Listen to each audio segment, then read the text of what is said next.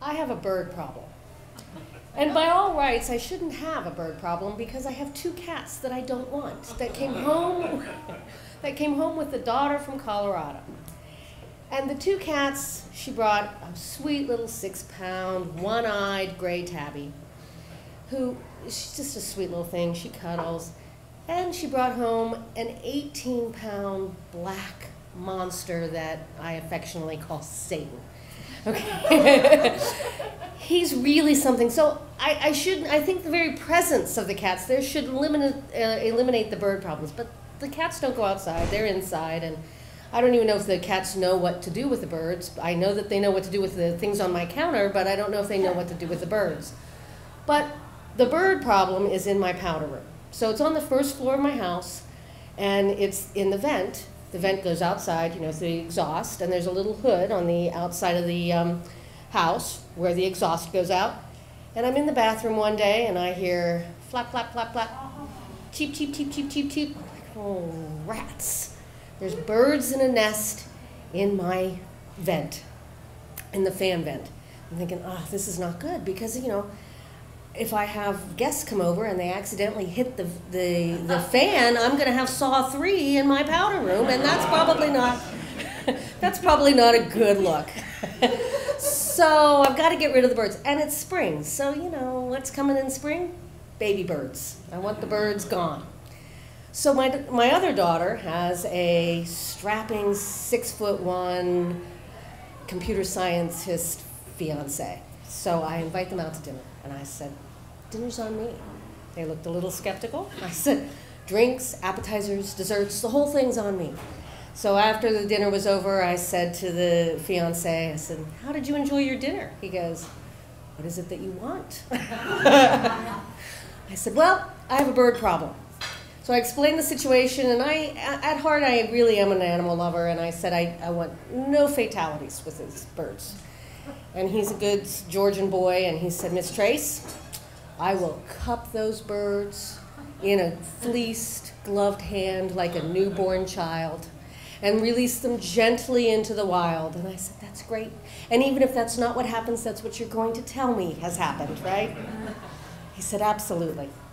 So he agrees to take the bird to, to take on the bird problem. Now this is, really isn't his thing. I think I mentioned he was a computer scientist, but he really wanted to impress me. He, he's out to make a good impression. He's still a new fiance.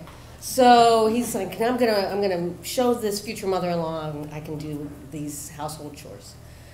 So I leave for a conference for the weekend, and he's choosing that weekend to come and, and take care of the birds. He does not tell the daughter who owns the cats, however, that he's coming over at 6.30 on Saturday morning. So it didn't get off to a, quite an auspicious start because he comes in the house and she's standing at the top of the landing saying, I've called 911 and I have a bat. But they, they worked that out, and he started um, to, to tackle the bird problem. So he bangs on the vent, you know, and the way the powder room is situated, he has to bang on the vent and then run to the window, and then bang on the vent, run on the window, and he watches two birds fly out. He's like, okay, we're good. Hooks up the leaf blower, and he's going to blow that nest out. okay? he sticks that up there, and he blows the nest out. Well, the nest gets caught, okay? in the hood, right? He's like, well, I, I, I'm gonna. I, I, he wants to get this done and do it right, right? So he goes out to the la- to the garage and he gets all the ladder out because it's just high enough that he needs a ladder. Gets the ladder out and he puts on his gloves and he he even he was really trying to impress. He even brought um, a mesh screen, so he's going to put it out up there afterwards so that the birds don't come back in, right? So so I was quite impressed. So anyway, he gets up on the ladder and he starts to fish out the nest, you know, and he's really having to dig back in there because the leaf blower just didn't quite do its job.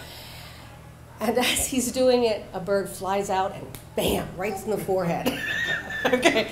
And it startled him apparently, as well as the bird. He lifts both hands up, he goes, bah, like this, falls back, tries to grab on to the, to the porch post, and he said he heard what he thought was a t-shirt ripping. It was not. It was his shoulder. Oh. Shoulder muscle. he said his right arm just just fell right down, right? But he went back up and fished out that nest. fished out the nest. He's really trying to impress me. He did not, however, put the screen on the on the bed.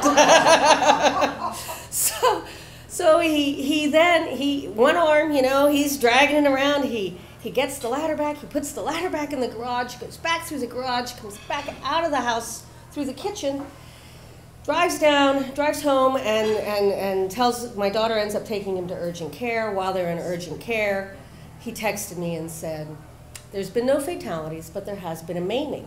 I'm like, oh, I felt horrible, right? he ends up in a sling and on all kinds of medication and, and immobilized for a couple of weeks. And, but in the meantime, the daughter who owns the cats has left, gone for an exercise. She comes back now, this has been a bloodless injury, but when she walks back into the kitchen, there is blood everywhere. And she's thinking, oh my gosh, what the heck? You know? She, she looks over, and as she's walking to the garage, opens the garage and sees feathers everywhere and looks into her to the cat's food bowl. There's one bird leg sticking up out of the food bowl. So apparently the birds, the cats do know what to do with those birds. and and he, um, he, he got that bird and he put the bird, they, both of them, like, apparently they worked together because she said that they were prancing and looked very proud of themselves. And uh, she's horrified. She takes the food bowl where the bird is left with one leg sticking out. She takes the whole thing and pitches it all in the garage, and she's all day long. The cats kept coming back to that food bowl going, I had a feast. We had a feast. We had this planned. So I get the text from the conference and said, well, about that fatality. so I'm on my way here this morning and I'm, you know, I was getting ready. I'm in my bathroom and I hear flap, flap, flap, flap, flap, flap, flap. Cheep, cheep, cheep, cheep, cheep, cheep, cheep, cheep. So I still have a bird problem. If anyone's interested, I'm hiring now.